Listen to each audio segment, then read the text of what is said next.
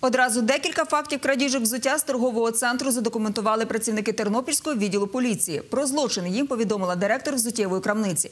Подробиці в сюжеті сектора комунікації головного управління Національної поліції України в Тернопільській області.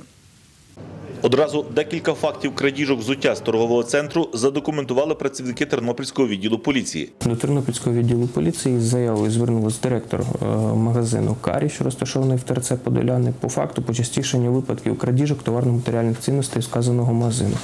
Правоохоронці вживають заходів для встановлення особи правопорушника та притягнення його до кримінальної відповідальності. Зі слів керівника торгового закладу, пропажу товару працівники помітили не одразу.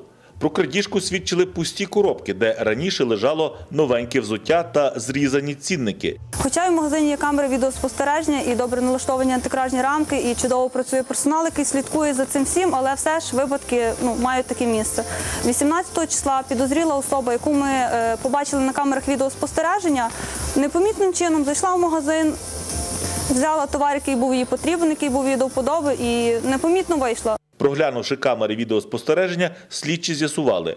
Чоботи та черевики з магазину викрадала невідома жінка. Відомості про подію внесено до єдиного реєстру розслідування злочинів згідно статті 185 Кримінального кодексу України крадіжка.